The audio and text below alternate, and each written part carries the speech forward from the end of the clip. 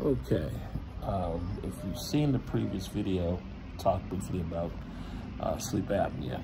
And, um, and as, as, an African American, um, and I've gained weight too. I've been trying to exercise and do what I need to do to be diligent. But the sleep apnea is, it gives, it makes you have an increased, it says that, you know, if you have sleep apnea, you have an increased risk of having um, health problems, uh, cardiac events, stroke. If you have certain situations like diabetes and things like that, it can make it worse for you.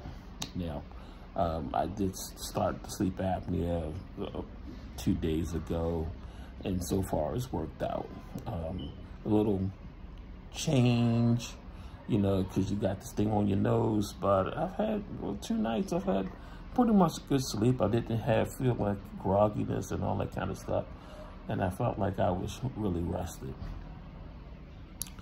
Now, I'm going to uh, say that it's a it's a good thing, and um, you know it's it's it should have I should I mean I need it. Okay.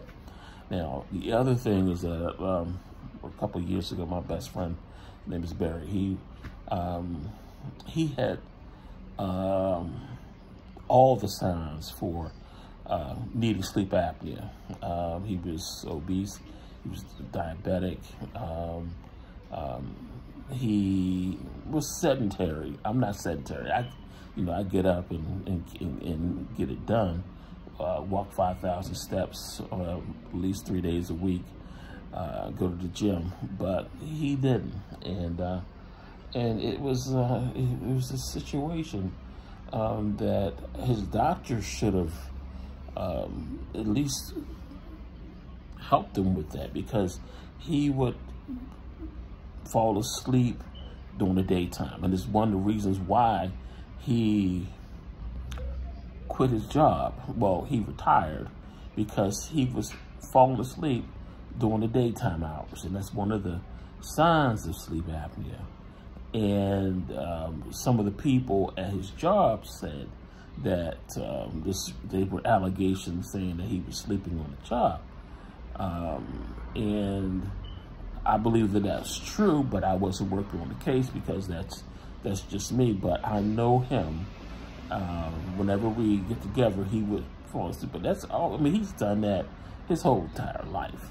And but towards the end of his life, he um, he gained much more weight. Um, he became a diabetic.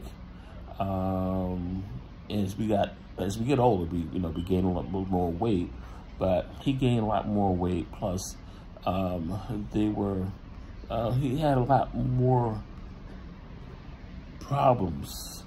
And, uh, and I believe he had, uh, he had problems with circulation also. Um, he had, uh, I believe he might have had congestive heart failure too, because he had um, leg swelling. He had to use compression leg stockings. Um, and he couldn't really walk as far as he used to. Um, uh, so I believe he definitely had some had some issues with uh, his heart. Um, and I believe that had he had the situation with sleep apnea, uh, or his doctor should have diagnosed him with sleep apnea, um, he might still been around today. But, you know, as a caveat, he still needed to do X, Y, Z.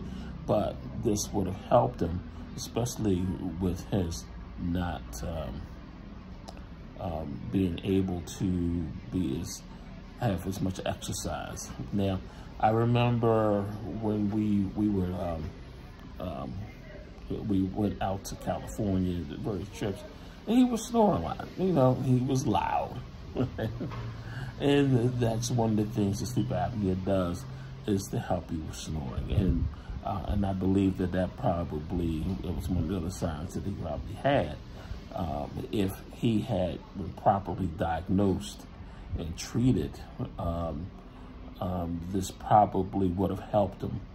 Um, and um, he might have had a better outcome, meaning that he could still be probably um, still be here. And he could probably, he could have also continued to work, you know, with the sleep apnea machine.